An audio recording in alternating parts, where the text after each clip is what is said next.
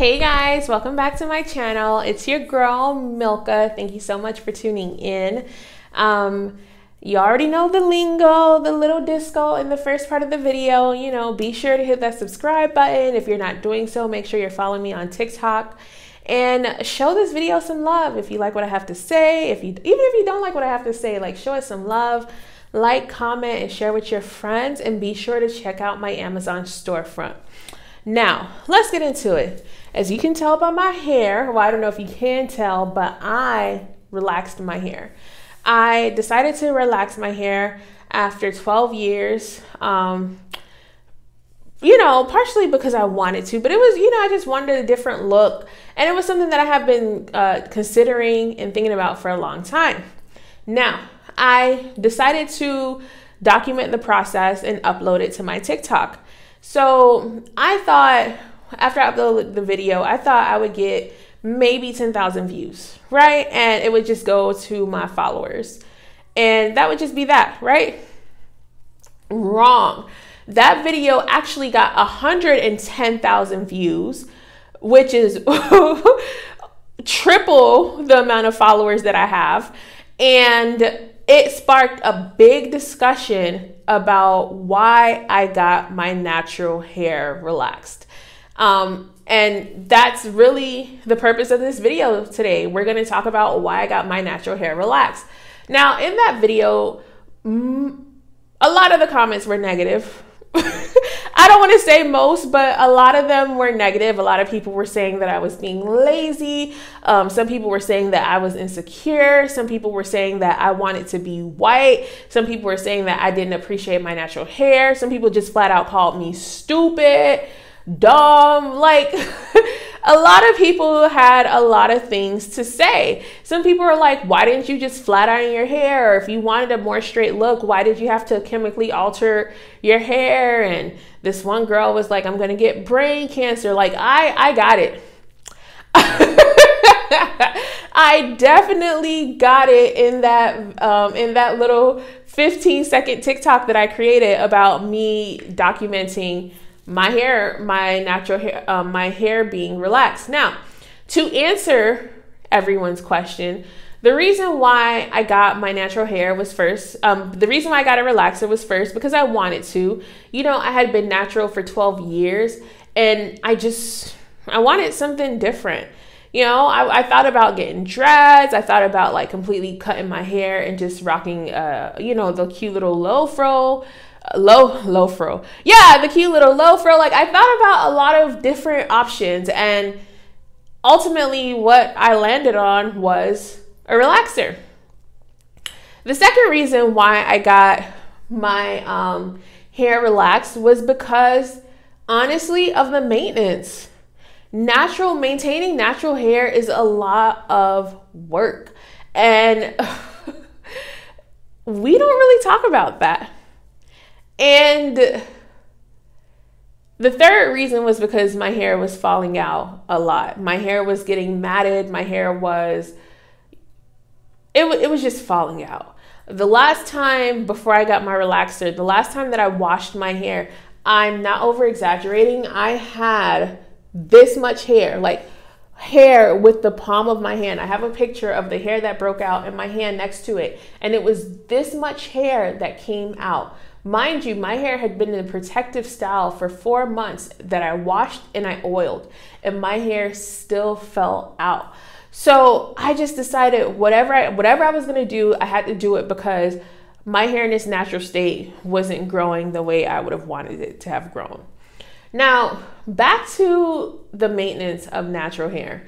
The natural hair community doesn't talk about it, and because capitalism has entered into the chat of being natural, we don't really get into detail how much work natural hair is and the time commitment. And not only is natural hair a lot of work, the bulk of the work of natural hair isn't actually treating your hair, it's doing things to make your hair more manageable.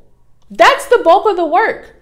We're spending so much money on products. We're spending so much money, uh, so much time and energy deep conditioning, pre pooing, unpooing, depuing, like protein treatments, hot oil treatments. A lot of that stuff is just to make our hair more soft so it can be more manageable. And it's cool if you have the time and the energy to do that, but once you don't, it really, really, really becomes a burden. Now, I'm not gonna lie, I probably should have washed my hair more often, but I only wash my hair maybe once or twice a month, sometimes. if I'm being honest, sometimes I did not. Oh, look at my hair with a little itch. I did not wash my hair as often as I should have been washing my hair. And like, I'll admit it, like, that was definitely to my detriment.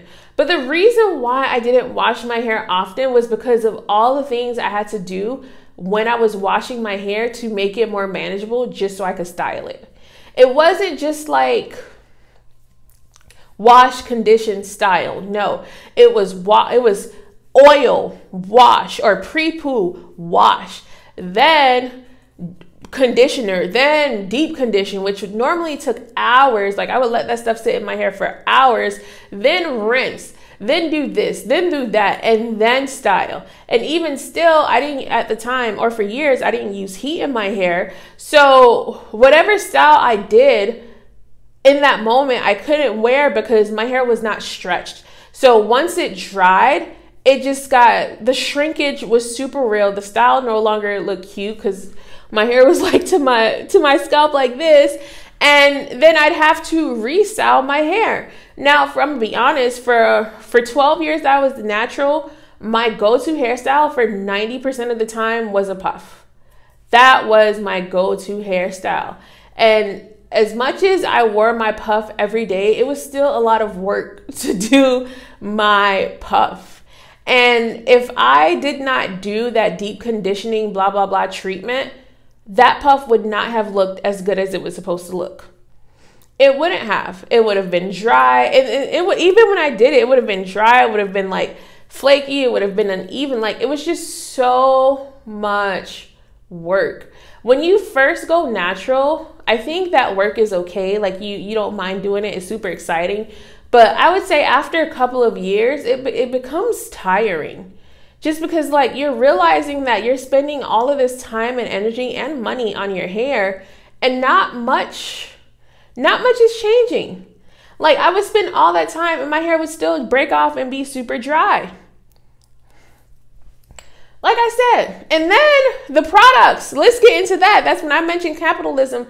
That's what i was actually talking about the products for hair were so expensive. Like I would legit spend 70 to 100 dollars every time I bought new products. And every time I bought new products, I would always buy products that were raved on YouTube, that were, you know, highly revered, that were this, that were that. And I would buy the whole set and of course, most natural hair products is be like $15 for a bottle that's this big. I would buy the whole set and my hair would still not come out the way that it was supposed to come out. What just just thinking about it. You guys know I didn't realize how much of the products that we had as natural girls, I mean, I used to be a natural girl, but that we had as natural girls that weren't, their sole purpose was making our hair more manageable. It, it, it, those like coiling custards and all that other stuff, all of that stuff was simply to make our hair more manageable. It did nothing else for our hairs, but we held on to those routines and those products with conviction. With conviction. And after a while, I just got tired of it. I'll never forget um, my little mentees, but I call them my little sisters. They came to my house so they could do their hair, right? And so the younger sister was going to do her big sister's hair. And they were like, Well, I need to wash my hair. And I'm like, You sure? It's already late. Like, y'all sure y'all got time? And she was like, Yes, I ain't gonna take like 10 minutes. It literally, they're both relaxed. It literally did take them only 10 minutes to wash their hair. They literally just washed, I mean, shampooed, conditioned, put some grease on the scalp, and styled, and that was it. I was so flabbergasted because for the past 12 years, For me and my natural friends, a wash was a day. That's why we have wash days. A wash was a, a whole day activity. You had to make smoothies and custards and this and that. It was a whole day activity. And looking back on it, we only did that stuff not so our hair could grow, but so we could have more manageable no hair to style.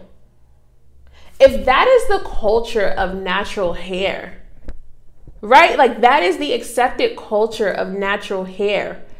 Why are people so pressed about me relaxing mine.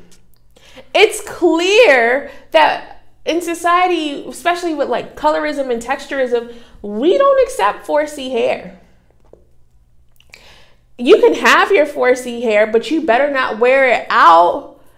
You you got to do all this stuff to manipulate it and to manage it and to do this and to do that. So, why is it an issue when someone decides to relax their hair? Questions that need answers. Another issue that I had was like how expensive it was. So I realized that I could no longer take care of my natural hair. So what I decided to do was I decided that I was going to go and pay to for to go to a salon to go to a, a hairstylist so they could you know wash it help me manage it what i'm telling you for a wash and just a regular wash deep condition and braid when I say braid, I mean like my natural hair and some like twist or whatever was $85. Y'all, people would rave about these naturalists. Oh, they go to this natural hair salon, go to that natural hair salon. I would go online and look at their prices. And for a wash and a regular style with your own hair, you're literally looking at a hundred dollars. And to me, that was just absolutely absurd because I remember the days where you could get a perm for 50. And I understand times have changed, but like have they that much though? You it was so hard. It was so hard to find someone to style my hair or to treat my hair without me feeling like I was being overcharged. And then when I would decide to get braids, y'all already know what the culture is like. Come out with your hair this, come out with your hair that, you know, have your hair blown out, have it, but no scalp greasing, no this, no that. So just finding someone to braid my hair was such a struggle. Now I did find people and I'm thankful for the people that did braid my hair because they always did a great job. But even going through that, like people there were a lot of people on my TikTok comments that were upset that I got my hair relaxed, but no one ever really thought about the culture of natural hair that may push someone to get relaxed. No one really thought about how like expensive it is, you know, to do all these products, how long it takes to even do a simple task like washing your hair, and then the the the price gouging when it comes to going to salons or or getting your hair braided. There was people that were trying to charge me 40 and 50 dollars to detangle my hair simply so they could braid it, which I thought was so disrespectful because it's like if you're a black woman that braids black hair, this is black hair. You know, my 4C thick, coarse hair is black hair. If you can't, if my hair is a burden for you to braid, then you're not a braider. But I couldn't say that because the culture around it existed. So I say all that to say, even though people supported the natural movement in theory, there was not an ecosystem that was built to actually help the natural growth stay sustainable. There isn't there wasn't. And a lot of the girls that I know that are natural now, they don't wear their real hair out. It's either they heat train their hair or they always have their hair in wigs or sew-ins or they cut it all off or they get locks. Very few people are rock are still rocking, you know, the puffs and the braids. And if you ask them, one of the things that are common is the ecosystem around it how difficult it is to manage. And then if you decide that you don't want to manage and you want to pay someone to manage, how expensive it is. I relax my hair, obviously for myself and because I want a different look. But I realized that I no longer wanted to be a part of that. I no longer wanted to feel bad about having coarse, 4C, thick hair. It would piss me off when I would go to someone to braid my hair and they spent the whole time complaining and adding additional fees because they felt like they had to detangle my hair when I felt like my hair was perfectly detangled. But again, that was the culture. So for those people on my TikTok that were asking, well, how could you relax your hair? The real question is, how could I not have relaxed my hair? That's the real question. Like, why did it take me this long? Like, why did it take for the front of my hair to start falling out, for me to start having little patches of my hair to do it when I could have did it a long time ago and to treat my hair? I've been relaxed for over uh, a little over a month now, and it's so crazy to see how I know my like I'm starting to learn my hair. Like because when I do, because I now, even though I go to the salon and my stylist, my hairstylist is the primary caretaker of my hair, I still like to wash it. Like it's so, it's so relaxing to me now. And it's so crazy to see how like because I'm not spending so much time making my hair more manageable, I'm actually taking the time to learn my hair. Like I'm learning what happens with my scalp when it gets too dry or when it gets too hydrated. I'm learning what products work best in my hair, not just buying a product simply because a YouTube person swears by it. When I was natural, because again, most of my time was about management and making my hair manageable, I did not have the time. By the time I was done doing all that stuff to make it soft, I was tired. I would just slap whatever product I thought worked and I kept on going. But it's such a difference now. It's such a relief. Like I could comb through my hair and be like, oh, I need to I need to try something different to make sure it, it you know it, it feels nice or it feels soft. So I don't regret relaxing my hair. As a matter of fact, I'm gonna do it again. if I'm 100% honest, I don't know if I'm going back. I think I might I might just hang out with the relaxed girlies for a while because it's it's easier on this side. It is easier on this side and I enjoy it. So, I hope that answered your question on why I got my hair relaxed. Like I said, I'll do it again. If you're watching this and you're you've been struggling with the idea, come on over.